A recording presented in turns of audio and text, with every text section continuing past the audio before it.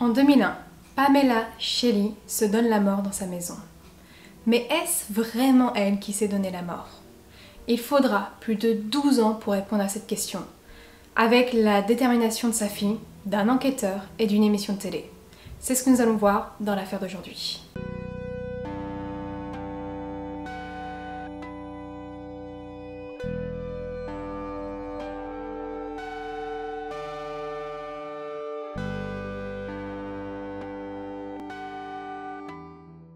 Pamela Shelley a grandi avec sa famille dans la ville de Ashton qui se situe en Arkansas. Durant son adolescence, elle a euh, un ami, dont elle est proche, un garçon nommé Ronnie Hendrick. Il est un peu plus jeune qu'elle, mais seulement d'une année, donc ils passent beaucoup de temps ensemble. Malheureusement, cette amitié s'arrête lorsque Ronnie doit déménager en Californie avec sa mère. Pamela a aussi un amour de jeunesse, Jesse Suggs, qui lui est euh, plus âgé qu'elle de euh, quelques années. C'est un peu un, bad boy, un peu rebelle, mais elle est complètement sous son charme, au point de se marier avec lui alors qu'elle n'a que 16 ans et qu'elle est euh, toujours au lycée. Ils vivent ensemble pendant 4 ans et ils ont un enfant, une fille nommée Kayla. Malheureusement, la relation idyllique du début se transforme en véritable cauchemar pour Pamela. Jesse est tombé dans l'alcool et dans la drogue et il est maintenant physiquement et euh, mentalement violent avec elle. Elle le quitte et elle demande le divorce. Elle se remarie assez rapidement avec un homme dont je n'ai pas eu l'identité et leur mariage est de courte durée. Il dure le temps d'une année avant qu'ils ne divorcent. Mais à la fin de cette union, elle est enceinte et elle donne naissance à un fils nommé Dustin durant l'été 1991. Après cette naissance, elle retourne avec Jesse, son premier mari, qui l'aide à élever Kayla et son deuxième enfant. Malheureusement, les conflits dans le couple surgissent au bout de quelques années et Pamela retourne vivre chez ses parents avec ses deux enfants. Un jour, un homme frappe à sa porte. Il s'agit de Ronnie, son ami d'enfance qui a déménagé en Californie il y a maintenant plus de 10 ans. Entre-temps, il s'est marié, il a une fille et il a divorcé. Mais son père vit toujours en Arkansas. Donc lorsqu'il passe le voir, il apprend que Pamela s'est récemment séparée de Jesse il décide de prendre son courage à deux mains et de l'inviter à sortir. Ils sortent ensemble pendant plusieurs mois, la relation se passe vraiment bien. Ronnie prend soin d'elle, il prend soin de ses enfants, et elle se sent enfin euh, protégée par quelqu'un et surtout aimée de la bonne façon. Au bout d'un certain nombre de mois, Ronnie lui fait une annonce et une proposition. Sa famille a des terres au Texas dont il aimerait bien se servir. Et là-bas, ils peuvent avoir une belle maison et être auprès de sa famille à lui. Il lui demande si elle accepte de le suivre, ce qu'elle fait. L'idée de Ronnie était aussi un moyen de l'éloigner de son ex-mari Jesse, qui était toujours possessif avec Pamela, voulant savoir ce qu'elle fait, qui elle voyait, ce genre de choses. Pamela, Ronnie et Dustin prennent la route et après de longues heures de conduite, ils arrivent dans la ville de Cuero. Concernant Kayla, elle n'est pas avec eux car euh, toute sa vie est à Ashton. Elle est pom-pom girl, elle a beaucoup d'amis et elle ne veut pas tout quitter pour le moment. La famille au Texas se compose donc de Pamela, Ronnie, Dustin et Melissa, la fille de Ronnie. Un lien secret entre elle euh, et Pamela, un lien maternel et affectueux qui rend la situation encore plus plaisante pour tout le monde. Leur vie au Texas est heureuse. Ronnie achète à Pamela sa première voiture. C'est une nouvelle étape pour elle. Le problème est qu'elle a peur de conduire car euh, elle est sujette à des crises de convulsions. Elle prend un traitement pour l'aider, mais elle ne sait pas toujours quand les crises vont se produire. Elle évite alors de faire de longues routes ou euh, de partir loin au cas où une crise arrive, ce qui fait qu'elle passe plus de temps à la maison qu'à l'extérieur. Et cette atmosphère familiale continue pendant plusieurs mois jusqu'en 2000, où la situation change totalement. Cette année-là, Kayla rejoint sa mère et elle vient vivre avec eux au Texas. C'est une situation euh, très compliquée à vivre avec, pour elle parce que c'est pas son choix d'être ici. Les compétitions Pop-Up Girls étant finies, on lui a dit qu'il était temps d'aller au Texas. Elle est au début de l'adolescence, elle a 12 ans, et elle est complètement perdue par cette situation. Elle se retrouve avec sa mère, mais aussi avec un beau-père et une belle famille qu'elle ne connaît euh, pratiquement pas. Elle est dans un cheminement de rébellion. Elle ne veut pas recevoir de directives de la part de Ronnie, qui pour elle n'est pas son père. Et donc, elle n'a pas, euh, de, il n'a pas de leçon à lui donner. La situation est dure à vivre pour tout le monde, mais surtout pour Pamela, qui est déchirée entre son compagnon et sa fille. Et celle-ci insiste pour qu'il retourne vivre en Arkansas, puisqu'elle n'est pas heureuse ici. Mais Ronnie, lui, a sa famille qui vit au Texas, et repartir là-bas n'est pas une option. Tiraillée de toutes parts, la mère de famille perd pied jusqu'au point de non-retour. Le 6 janvier 2001, vers 17h, les urgences reçoivent l'appel désespéré du beau-père de Ronnie. Sa belle-fille Pamela vient de tenter de mettre fin à ses jours. La maison est située dans un coin isolé, donc ça va prendre du temps pour les urgences euh, pour trouver le bon chemin. Mais arrivé sur place, il monte à l'étage et il découvre le corps de Pamela dans sa salle de bain. Elle a reçu une balle dans la tête, mais elle respire encore. Elle est amenée dans l'ambulance et Ronnie se porte volontaire pour leur montrer la route la plus rapide afin de se rendre à l'hôpital. Et donc ils montent avec les secouristes dans leur voiture. Les policiers arrivent après que l'ambulance ait quitté les lieux et ils se mettent à étudier la scène de crime. Ils retrouvent de nombreuses traces de sang et un revolver de calibre 22. Il n'y a pas beaucoup plus d'indices à examiner, mais il y a tout de même des témoignages à récupérer. Les personnes interrogées sont la mère de Ronnie, son beau-père et ses deux frères. Bien que les deux enfants de Pamela étaient aussi sur place, aucun d'eux n'a été interrogé. La parole des enfants n'est pas prise en compte. Alors que Kayla, elle a quand même 12 ans et Dustin, il a 9 ans.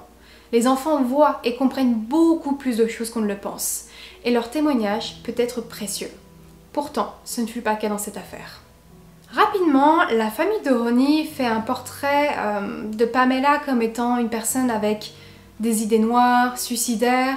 Ils ajoutent que dans sa famille, il y a eu déjà des antécédents concernant ce fait et qu'elle était complètement perdue dans la situation euh, dans laquelle elle était. Sa fille lui faisait vivre un enfer, la forçant à retourner en Arkansas, alors que elle, elle voulait rester ici auprès de Ronnie. Elle devait justement repartir là-bas cette même journée. Il pense qu'elle n'a pas pu se résoudre à partir ni à perdre ses enfants, et c'est pour ça qu'elle a préféré se donner la mort. Elle a été poussée à bout par sa fille. Les policiers ne peuvent pas interroger Ronnie pour le moment puisqu'il a accompagné le secours à l'hôpital. Pamela décède peu de temps après son arrivée à l'hôpital et son corps est envoyé en autopsie. Les policiers peuvent enfin interroger Ronnie sur le déroulement des faits. Il explique qu'il était à l'extérieur de la maison lorsqu'il a entendu le coup de feu. Il s'est précipité à l'intérieur et il a retrouvé Pamela sur le sol de la salle de bain. Il indique qu'elle était extrêmement déprimée car elle devait retourner en Arkansas, sinon elle perdait ses enfants. Il ajoute qu'elle prenait un traitement contre la dépression. Jesse est arrivé à l'hôpital peu de temps après euh, que Pamela ne succombe à ses blessures. Il est également interrogé. Il était toujours en contact avec elle, surtout qu'ils ont Kayla en commun. Il sait qu'elle avait prévu de rentrer en Arkansas euh, cette journée-là, puisqu'il lui avait même proposé de la conduire. Elle avait refusé car le beau-père de Ronnie s'était déjà proposé. Il vérifie où il était au moment des faits, mais il était à plusieurs centaines de kilomètres de la maison et il n'a rien à voir avec tout ça. Lors de l'autopsie, le médecin légiste va conclure à un suicide à cause de la façon dont la balle a été tirée. L'arme a été placée au niveau de la tempe et la balle est ressortie un peu inclinée en hauteur de l'autre côté. Ce genre de blessure correspond souvent à un suicide. Malgré les indications du médecin légiste, certains détectives veulent quand même que Ronnie passe au détecteur de mensonges. Deux rendez-vous sont fixés, mais Ronnie ne se présente à aucun d'entre eux et il devient tout simplement introuvable par la suite. Sans famille pour insister, et sans nouvelles preuves, l'affaire est laissée en l'état avec la conclusion du suicide. Et les années passent ainsi. Cependant, il y a un homme qui ne croit pas à la version du suicide, et ce depuis le début de l'enquête. Cet homme s'appelle Carl Bowen. Il faisait justement partie de l'équipe d'enquête de base, et il pensait qu'il euh, pourrait s'agir d'un homicide et non d'un suicide. Mais au moment des faits, Karl n'était pas en charge de cette enquête et il ne pouvait pas réellement intervenir dedans. Mais à présent, il occupe un poste beaucoup plus important et il décide de s'en servir afin de pousser le département de police à rouvrir l'enquête. Le shérif accepte cette requête, chose qui n'arrive pas très souvent, surtout lorsqu'il n'y a euh, pas de nouvelles preuves pour justifier cela. Carl recommence l'enquête en consultant euh, les antécédents médicaux de Pamela. Il découvre que, comme l'avait dit Ronnie, elle prenait bien des antidépresseurs. Sauf que ce n'était pas pour aider une dépression comme lui l'avait dit. Le traitement était à très faible dose et lui servait à réduire le nombre de ses convulsions, pas parce qu'elle était suicidaire. Carl va faire ce que les autres n'avaient pas fait. Il va interroger Kayla pour obtenir sa version des faits. Cette adolescente qu'on a rendue responsable de la mort de sa mère va raconter. Elle raconte que sa mère était heureuse au Texas les premiers mois. Mais cela a très vite changé. Ronnie était un homme méchant avec elle et avec sa mère, et il était violent physiquement. C'était ça la véritable raison pour laquelle Pamela voulait partir avec ses enfants en Arkansas. C'était pour les éloigner de cet homme violent. Le jour de sa mort, Ronnie a été encore plus violent avec Kayla. Il l'a poussée si fort que la tête de la jeune fille a heurté un meuble. C'en était trop pour Pamela qui a commencé à mettre toutes ses affaires dans le pick-up de son beau-père pour fuir le domicile. L'incident s'est produit 20 minutes avant l'heure du départ de la famille. Kayla ne pense pas que sa mère se soit donné la mort comme l'affirme Ronnie. Elle n'aurait jamais laissé ses enfants tout seuls livrés à cet homme violent. La chance sourit à Carl lorsque Ronnie est conduit en prison cet été-là. Il est arrêté pour violence conjugale envers sa nouvelle compagne. En faisant des recherches, il arrive à retracer les années entre la mort de Pamela et son arrestation en 2008. Juste après, il s'est enfui pour le Dakota du Sud, où il a été arrêté pour des problèmes de fraude et de violence conjugale. Il s'est avéré que Ronnie avait un gros problème avec l'alcool. Profitant du fait qu'il soit en détention, l'inspecteur lui demande de passer au détecteur de mensonges, celui qu'il n'avait pas passé 7 ans auparavant. Ronnie rate le test, sa version est bancale, il semble confus dans ses propos et surtout il ne dit pas toute la vérité. Lorsque Karl tente de l'interroger au sujet des résultats, Ronnie invoque son droit à un avocat et il refuse de parler davantage. Mais c'est sans compter sur le fait qu'il confie à plusieurs témoins qu'il a bel et bien menti dans sa première version des faits. Il avait affirmé se tenir à l'extérieur de la maison lorsque l'incident s'est produit, mais en réalité, il était présent dans la même pièce qu'elle lorsque cela est arrivé. I took a polygraph test for Pam. Tyler told me that they're opening the case back up. Uh, that you're not telling the whole story, what happened in the bedroom. As long as you tell the truth. I lied the first time. I told him that I was outside. I didn't want to be in the room. But you were in the room. Si c'était un suicide, pourquoi mentir? Il aurait pu dire qu'il l'avait vu le faire, justement. Pourquoi prétendre être à l'extérieur de la maison si on n'a rien à cacher? Malheureusement, ces éléments ne constituent pas des preuves suffisantes pour porter l'affaire devant un tribunal. Il en faut plus. En 2012, Karl vient voir le procureur du district et il lui parle d'une idée qui pourrait grandement aider l'affaire. Il y a une émission de télévision appelée Cold Justice qui cherche des affaires non élucidées et qui propose de les aider. Le procureur est un peu hésitant à cette idée, c'est un show hollywoodien, est-ce que cela va réellement aider l'affaire? Mais finalement, il se dit que ça ne peut pas faire de mal d'essayer. S'ils n'y parviennent pas, tant pis, mais si jamais ils y arrivent, ce serait euh, inouï. Pour ceux qui ne connaissent pas cette émission, euh, c'est donc un programme qui s'intéresse aux affaires non résolues et qui se penche à nouveau dessus. La série est produite par Dick Wolf, euh, celui qui a produit la série Law and Order. Dans ce programme, des personnes sont chargées de refaire l'enquête avec l'aide des enquêteurs de la ville. Les protagonistes principaux de l'émission sont euh, Yolanda McClary, une ancienne enquêtrice sur des scènes de crime à Las Vegas, et Kerry euh, Sigler, qui était anciennement procureur au Texas. Et depuis sa diffusion, la série a aidé pour plusieurs enquêtes. Il y a eu 49 arrestations et 21 condamnations. Tout ça grâce à leur travail. Carl contacte la production de Cold Justice et leur cas est accepté, donc le tournage peut commencer. Euh, il dure à peu près une semaine et la production a vraiment des moyens techniques beaucoup plus avancés, ce qui leur permet de faire de nouvelles expertises. Ils vont analyser différents objets comme l'arme du crime, une chemise de nuit couverte de sang, mais malheureusement, ça ne donnera pas vraiment de résultats concrets. Il n'y a pas d'ADN de contact sur l'arme et la chemise de nuit ne dévoile que finalement l'ADN de Pamela. On peut tout de même se poser euh, une question sur l'absence d'empreinte sur l'arme. Est-ce qu'elle n'aurait pas été nettoyée? Et si c'est le cas, pourquoi? Mais là où l'émission va vraiment aider pour l'enquête, c'est lors de leurs propres investigations et interrogatoires. L'équipe raisonne étape par étape pour analyser chaque élément afin de démontrer que c'est un suicide ou un homicide. Le premier point, c'est euh, les raisons et les raisons qui auraient pu pousser Pamela à se tuer. Elle aimait ses enfants, elle ne les aurait pas abandonnés et encore moins à Ronnie. Ce jour-là était euh, le jour de sa nouvelle liberté.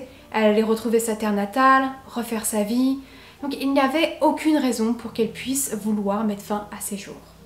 Le deuxième point est euh, les témoignages de la famille de Ronnie concernant les envies suicidaires de Pamela. Les seules personnes qui affirment cela sont les proches de Ronnie. Tous ceux qui étaient proches de Pamela sont de l'avis contraire. Une de ses amies avait justement eu une conversation à ce sujet avec elle, car une de leurs connaissances s'était donné la mort. Et Pamela avait répondu Je ne pourrais jamais faire ça. Est-ce qu'on doit vraiment prendre les paroles des proches de Ronnie pour la vérité absolue? Ils peuvent très bien intensifier des éléments afin de le couvrir. Le troisième point concerne euh, ce qu'il s'est passé lorsque les policiers sont arrivés sur place et par rapport aux témoignages des gens présents. La mère de Ronnie et son frère avaient tous deux déclaré avoir pratiqué les gestes de premier secours sur Pamela. Or, les policiers se souviennent qu'aucun d'eux n'avait de sang euh, ni sur leurs mains ni sur leurs vêtements. S'ils avaient été en contact avec la victime, du sang aurait dû être présent sur eux.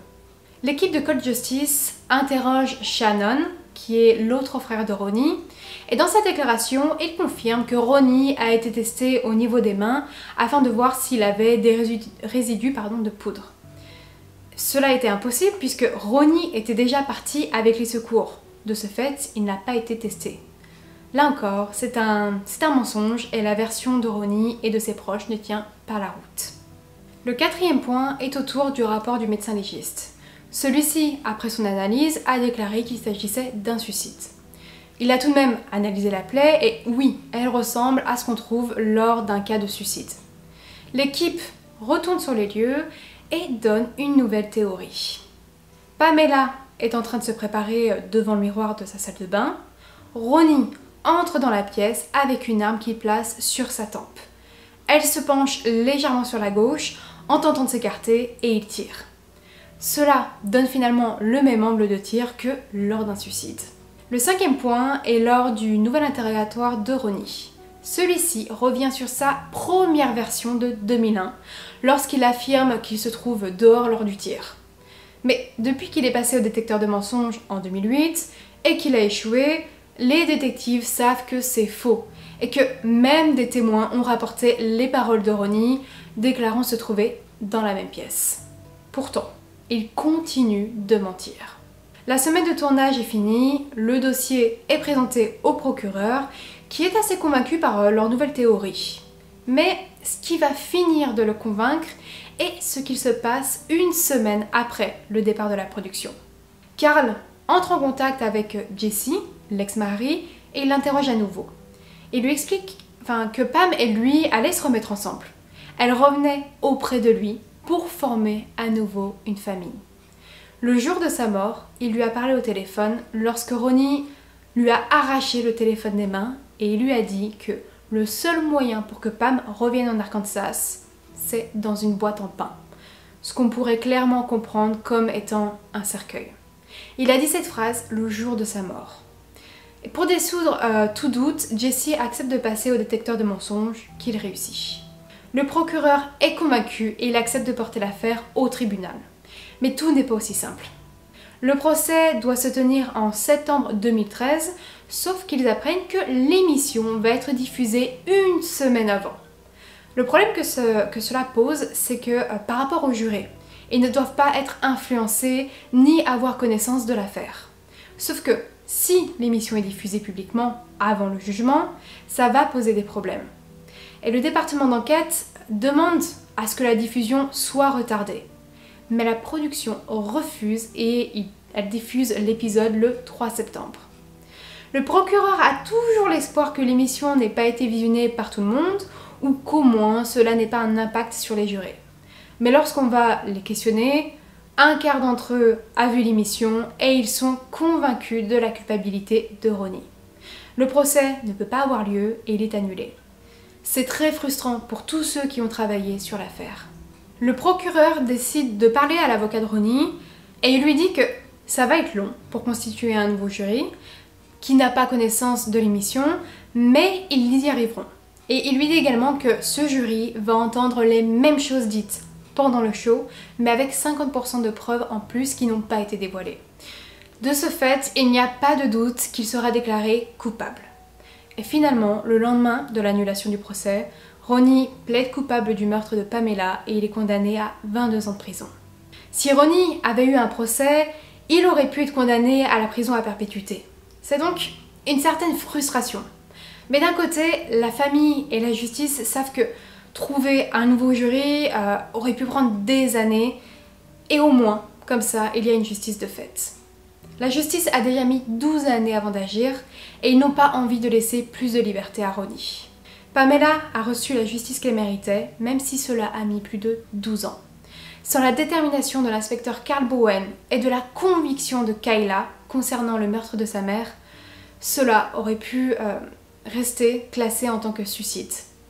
Pendant 12 ans, Kayla a entendu des gens dire qu'elle était responsable de la mort de sa mère qu'elle était une enfant difficile qui l'a poussée à bout. Et je ne peux même pas imaginer la blessure avec laquelle elle a dû grandir. Mais le fait d'avoir enfin la vérité dévoilée doit aider à sa reconstruction. C'est la fin de cette affaire, j'espère qu'elle vous a intéressé. Si c'est le cas, n'oubliez pas euh, de liker, ça m'aide beaucoup. N'hésitez pas non plus à vous abonner et à activer la cloche des notifications pour mes vidéos. Et nous on se retrouve la semaine prochaine pour une nouvelle affaire.